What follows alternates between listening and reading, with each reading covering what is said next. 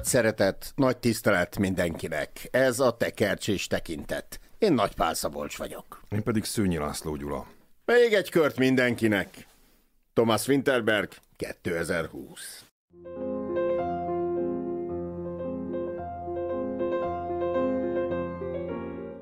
Négy elfásult, megrekedt, kiégett tanár úgy dönt, hogy utána jár a hipotézisnek, miszerint fél ezrelék rendszeres alkoholfogyasztás felnyitja az elmét, értelmet ad életnek és hivatásnak. Életük közepén négy férfi tanár tudományos kísérletbe fog, mely óceán taszít, de megtanít röpülni is. Ki mondta a következő idézetet? Na, jöhet. Az élet nem probléma, amelyet meg kell oldani, hanem valóság, amelyet meg kell tapasztalni. Homer Simpson? Vagy Marx, de nem, hanem Kierkegaard. A, a Winterberg egy dühös filmet akart készíteni az alkoholizmusról.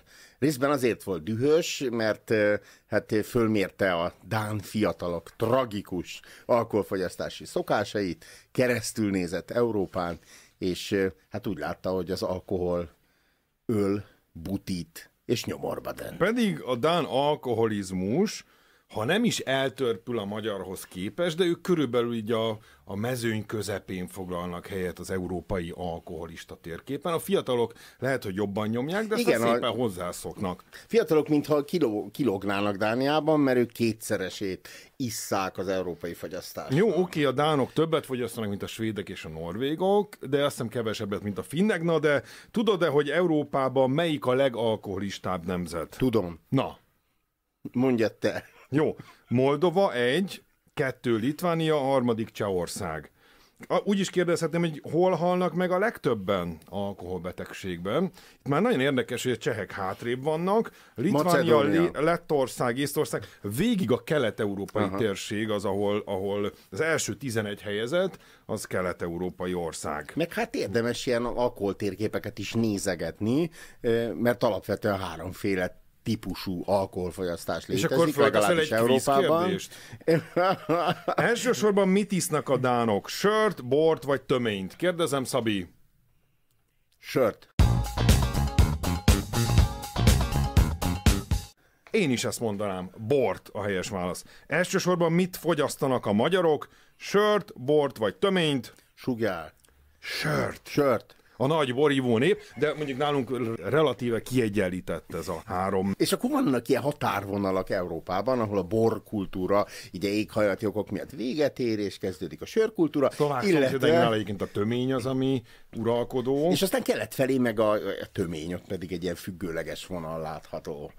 Ez a film, ez jó, azt hiszem, hogy jó, nem azért, mert Oscar díjat is nyert, mm. hanem nem nagyon tudnak róla rosszat mondani, legfeljebb a témát illetően. A legjobb nemzetközi film Oscar díjat nyerte, és jelölték legjobb rendezőnek. Szereted ezt Thomas a... Winterberger. Szereted ezt a filmet? Szeretem, mert életkorban közel hozzám, én is érettségire készültem. Beleszerettél valakibe? A feleségbe esetleg? A feleségbe egyébként igen, Na. aki nem tudom, észrevette, de, de ő svédül beszél a filmben.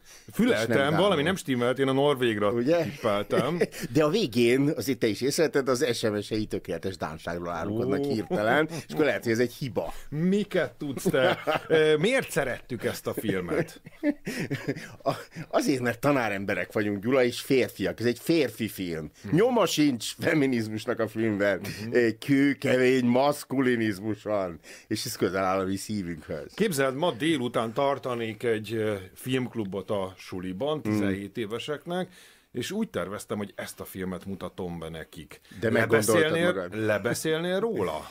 Ez nem, nem. Ez egy csodálatos film, amely egyszerre szól az, az érettség előtt állóknak, és egyszerre szól az ilyen 40 éves férfiaknak. De nem mindig. lehet, hogy rossz mintákat közöl. Tehát ez a feel good story, ez esetleg rossz irányba terelné őket? Hogy hát lehet a... egy picit? sok irányba terel ez a film, meg maga az élet is. Ez, a, hát a, ez nem egy dogmafilm, de a dogma mozgalomnak a forradalmára építkező film, fogalmazzunk így. Ez nagyon életszerű. Ez a, a, a legpozitívabban mondom ezt a dolgot. És hát az orrunknál fogva vezet bennünket. Tehát, hogyha mondjuk csak a kétharmadáig nézetnéd a diákjaiddal, na azt letiltanám. Uh-huh hiszen elkezdenek inni ez a négy férfi ember, és csodálatos, fantasztikus, varázslatos dolgokat tapasztalnak az életükben. Minden megjavul. De ez milyen jó dolog egyébként. Én volt, hogy azt hittem, hogy ez igazából a füvezésről szól ez a film. A drogról nagyon sok film készült, az alkohollal meg ilyen furcsa viszonyban vagyunk, talán mert minden családban azért van jó pár alkoholista, nálunk ez megengedett. Sőt, talán hogy a Living Las Vegas jutott most eszembe Nicolas cage tehát, hogy Amerikában van egy mód, ha már alkoholizmusról csinálsz filmet, akkor hát ítéld el morálisan ezt a dolgot, és mutasd be a rettenetét. És valahogy hát Európában, pláne Dániában szabadabb szellők fújdogálnak, és talán évtizedek óta először itt készülhetett el egy ilyen film, itt lehetett fölvállalható, az az életöröm, amely árad az egész filmből, de főként az első két harmadából. Uh-huh. Azt tudom, hogy az ember életében van vagy 12 válság. Itt a, a felnőtt férfiaknál ugye életközepi válság van, vagy kapuzárási válság? Ugye ez a Metz mikkelsen alakító, illetve nem, Martint alakító Metz Mikkelsen itt 55 éves volt, végül is egy életközepi válság is ki tud addig Ja, oké, okay, de a, a, a történet szerint a 40. születésnapját ünneplik az egyik szereplőnek. Az egyiknek. Tehát ez kifejezetten... De élethelyzetben ő azért más. Az ember fe... útjának felén járnak. Uh-huh, uh-huh. Ez a kapuzárási, ez furcsa szó, mert azért tehát az életközepi az kapunyítási is, tehát az akkor válik, nem tudom, középvezetővé az ember. Na jó, de az igazi kapunyításit azt meg a kamaszokra szokták mondani, vagy életkezdési válság. Mert ez ilyen relatív kapuzás, tehát a kapuzálás az majd a, nem tudom, a nyugdíjnál kapja el az embert, ha elkapja.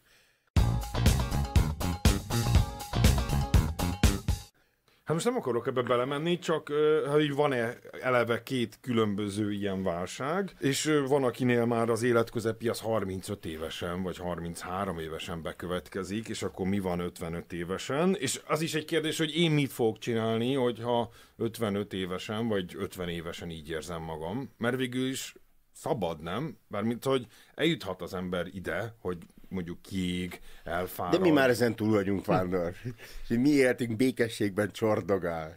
Szerintem ez egy, ez egy fontos kérdés, hogy bekerülhet-e az ember ilyen helyzetbe, megromolhat-e így a házassága. Ez egy, ez egy rossz kapcsolat? Vagy te azt mondod, hogy ez nem rossz kapcsolat? Hát több kapcsolat is van. Tehát akkor Winterberg, a forgatókönyvíró, együtt írták Tobias Lindholmmal egyébként, ö, játékba kezd, négy szereplőben állapodik uh-huh. meg, és akkor a négy szereplőnél leosztja, hogy a házasság tekintetében különböző szakaszban járnak, az egyik őjük frissen vált, a másikójuk boldog családban él, mert, mely picit meginok, de aztán helyre jön. A főhősünk, Mats Mikkelsen, a vállás szélére sodródik, szétköltözés, a negyedik úriember pedig úgy tűnik, hogy egyedülálló nőktől meg nem kísértett férfi ember. És akkor ezt is érzékeltetni lehet. Ugye van egy ilyen műfaj, hogy bro comedy, uh-huh. tehát ez a, ez a barátság vígjáték, férfi barátság vígjáték, és akár ezt is fölvillanthatja a filmet, de szerencsére nem a hollywoodi sablonok irányába megy a történet. Hú, ezt többen is mondják, nem csak ennek kapcsán, hanem Farkas Bogi írja, hogy a film szinopszisát elnézve ez a film akár egy amerikai vígjáték is lehetne kiöregedett csókák nonsens küldetéséről. De szerencsére nem ez van. Igen, vagy Én, amit... gyermekies férfiak hirtelen felnőnek, és megtanulják, mi az élet. De nem így mutattuk be egy mondatban, mert nem pont erről szól. Melyik színésznek a filmjeiről beszélek? A vadászat, Ádám Almái, még egy kört mindenkinek. Ez a Dál Latinovics Zoltán. Így van, Lars Rante. Mert hogy ő is szerepel ezekben. De most becsaptál engem, mert Mats Mikkelsen... Re is igaz. Re is igaz ez. Csak nála hosszabb ez a lista. Aki színész király. Hát róla hosszasan tudunk áradozni, és szeretnénk is. Az ő arca viszi el ezt a filmet. Az ő arcára lett írva ez a film. Egy központi jelenség. Ugye a férfiak általában keveset beszélnek. És... Mármint így a skandinávoknál? hát ja, igen. A finneknél de... ezt már megtapasztaltuk. Ja, igen. Meg ilyen nagy magyar hallgatásos filmek is vannak. Ha pedig ez így van, tehát hogy nem tudom, az érzem, persze van, amiről sokat beszélnek, csak arról nem lehet filmet csinálni, hogy mondjuk politizálnak, vagy foci edzősködnek elméletben az érzelmekről keveset beszélnek, és emiatt egy arcra kell, hogy ráírva legyen az, ahogyan amit gondol a, a, a történésekről, jelenségekről, és erre hát kevés színész alkalmas, Mats Mikkelsen a, ez egyik. Mindenképpen emlékezzünk meg a rendezőnek a Ida nevű lányáról, az... aki a forgatás elején meghal, már pedig rá lett volna szabva az, hogy Metz Mikkelsennek a lány, egyik lánya legyen és akkor át kellett alakítani a forgatókönyvet. Igen, két fia lett. Négy napja forgattak, amikor jött a hír, hogy a, 19 éves gyönyörű és okos lánya a rendezőnek autóbalesetben meghalt, és akkor ezt a dühös a alkoholizmus ellenes filmet átalakította, érdekes és döbbenetes módon a pozitív irányba. Tehát egy életigenlő, életörömmél teli film. Valószínűleg ez volt a terápiája a rendezőnek egyben. A gyászmunka. Igen, igen, igen. Őrület, tehát ennél nagyobb tragédiát azért nehéz elképzelni, és még az is felmerült benne, hogy nem csak a filmet állítja le, de az egész életét a hmm. rendező, de szerencsére ugye itt a forgatókönyvíró beállt helyettesíteni, és aztán sikerült újra gondolni, és Az és első folytatni. hét volt a legnehezebb, így ahogy mondod, azt, azt a segédrendező forgatta. És az is, az is visszahozta őt a filmbe, hogy, hogy rá, ráébresztették, hogy az ő lánya akarta ezt az egész alkotást, ez csak egy színdarab lett volna a Bécsi Burgteáterben, és, és az ő tanácsára kezdett el filmként foglalkozni vele. És a, a kezdőjelenet is, amikor egy tavat futnak körbe fiatalok, és közben alkoholizálnak, uh-huh. az is ebbe a hangulatba születik bele. Sokat beszélgetett a rendező a lányával arról, hogy milyenek a, a, az ivási szokásai ennek a korosztálynak.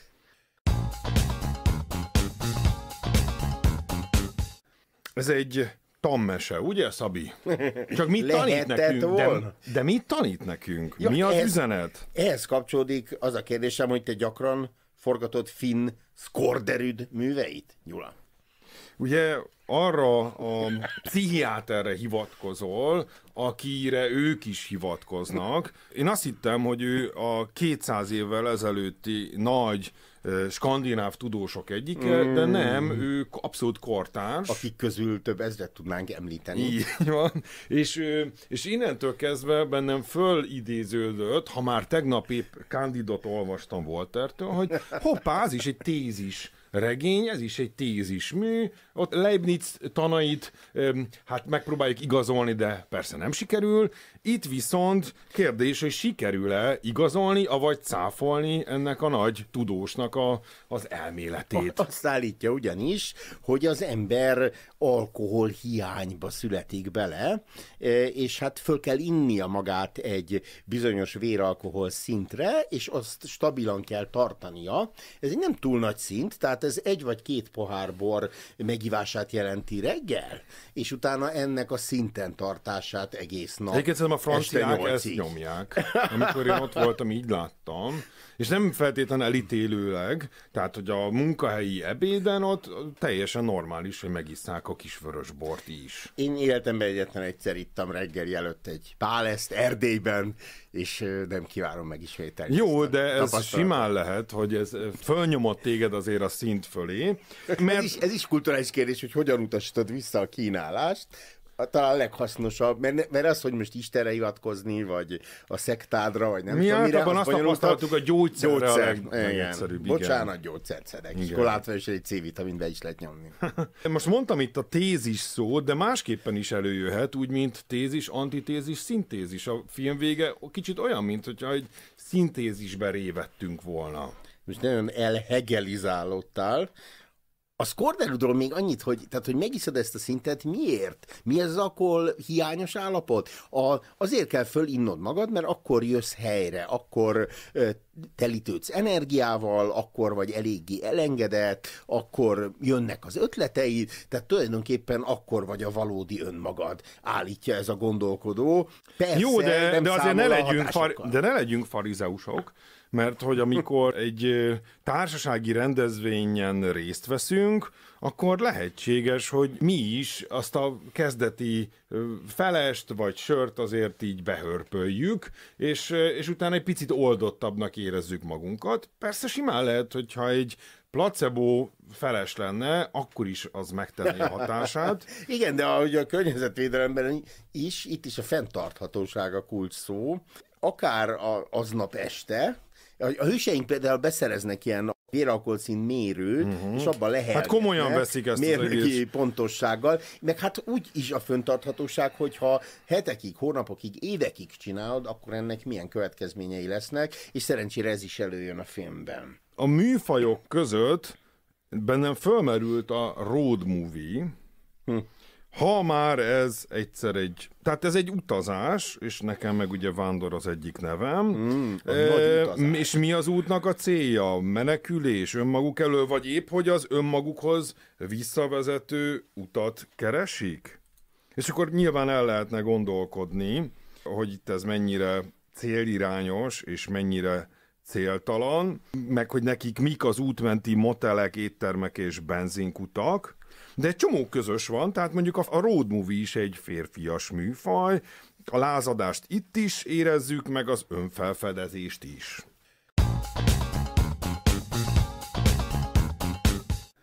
Tegnap beszélgettünk fiatalokkal erről a filmről, és volt közöttük Eszter, aki uh-huh. hát pontosan nem ismerem a hátterét, de olyan háttérből jöhet, ahol vannak rossz tapasztalatok a családilag az alkoholról, és ő alapvetően az egész filmmel szemben a fölháborodás volt az ő hozzáállása, tehát hogy miért mutatja be ilyen pozitívan, meg ilyen vidáman, meg ilyen könnyed kézzel. Igen, mert hogy nem teljesen negatív a kép.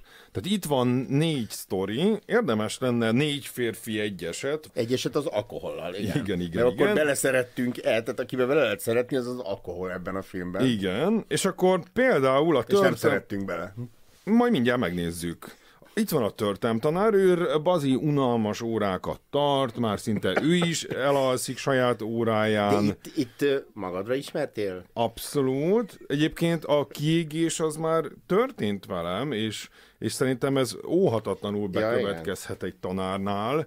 Erre oda kell figyelni, és ezen érdemes elgondolkodni, hogy hogyan tudok új inspirációkhoz jutni, amik ebben engem megakadályoznak. Figyelj, te mondod az unalmas részt, én mondom az izgalmas részt. Ezt is lehetne. Ezt is lehetne, de most ezt el is lövöm. Tehát a, a töri tanár az ital hatására hát megtátosodik. Abszolút. a történelmnek egy ilyen alkohol szempontjából Ezzel viszont nyilván nem értettem egyet, mert ez egy rossz irány, ez de még a házassága is átmenetileg hihetetlen magasságokba emelkedik. És ez az egyik csúcspont akár. Ez nagyon és szép. nagyon szép mondatokat mennek, és aztán pedig egymáséi lesznek, és el is sírja magát a hölgy, talán a férfi is, hiányoztál nekem, te is hiányoztál nekem, hiányoztunk magunknak. Nagyon kemény. Szép.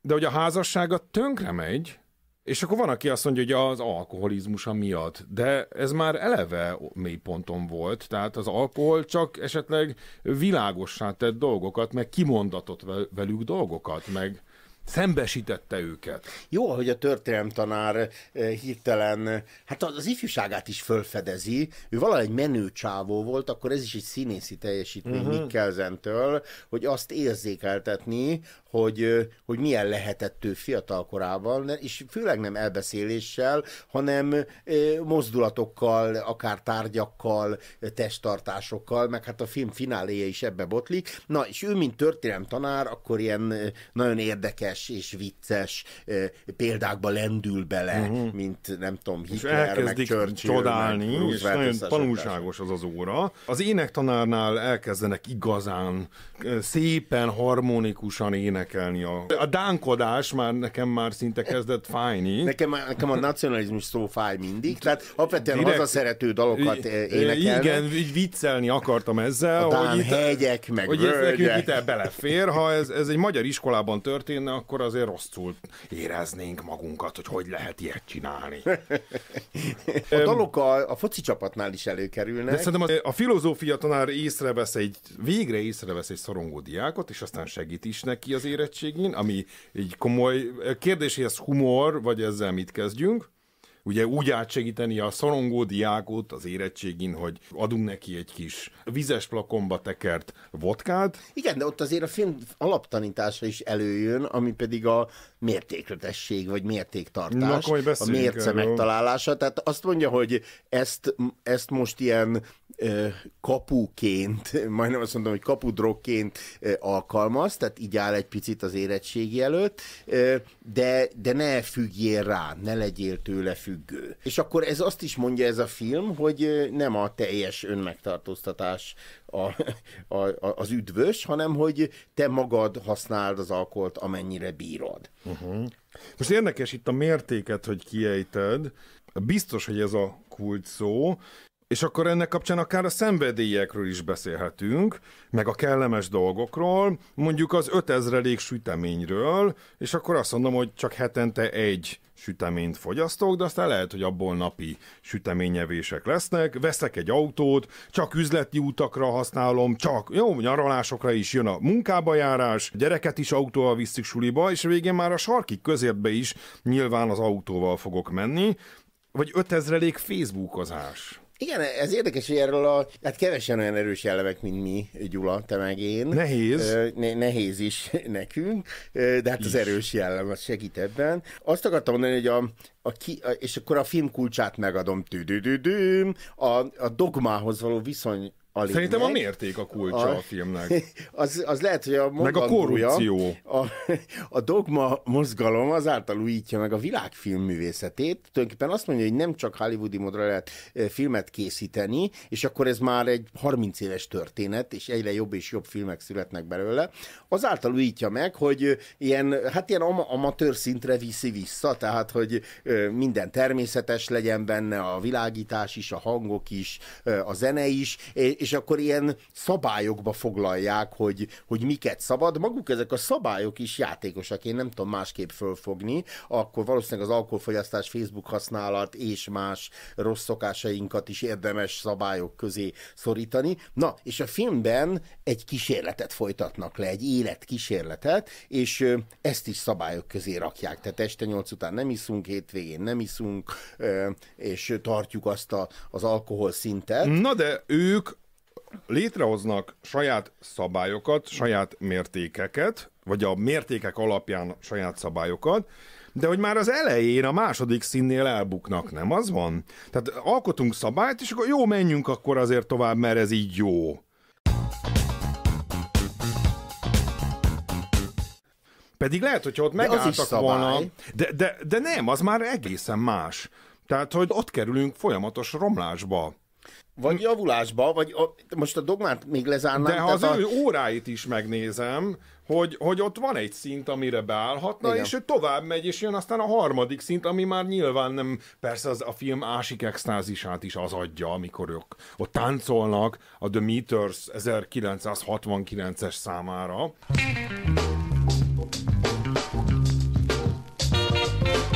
De akkor lehet, hogy ott meg kéne Hát nem az, hogy meg kéne állni, hanem hogy miután megtapasztalták, hogy a nagyobb alkoholszint az rossz, utána újra ugyanoda beállni, ahova még jó volt. De igazából nem ezt akartam mondani, hanem azt, hogy ez nem egy dogmafilm. Tehát a, maguk a dogmafilmek is ezeket a szabályokat meghaladják, és megtartják belőle, ami jó. És valahogy a, a, e, ugyanezt történik ezzel a, a kísérlettel is, vagy kell, hogy történjék. Tehát, hogy maga ez egy nagy játék szabályokba foglalni valamit, de azt aztán úgy érdemes élni, ahogy mégis természetes, meg üdvösségre vezető. Tehát ez a, Azt a... már csak itt teológusnak csendesen mondom, hogy van isteni mérték, meg emberi mérték, amire hmm. előbbire úgy szintén esetleg figyelni kellene, és sokan azt mondják, hogy az nem lehet csak úgy önként megváltoztatni a mértéket.